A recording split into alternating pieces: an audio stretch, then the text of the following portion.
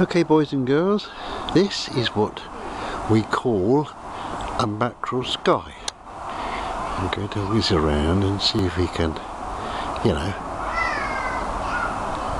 get a good picture of it. Isn't that wonderful? And apparently, such an extensive mackerel sky is quite rare. Okay, so anyway, while I have you here, I shall show you the hollyhocks. I know, I know, it's almost too much to bear, but the hollyhocks are looking rather wonderful just at the moment. Uh, why not?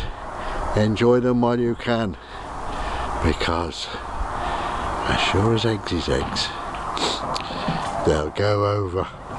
Yes. Oh well. Anyway, mackerel sky and hollyhocks. Just remember that. Thank you.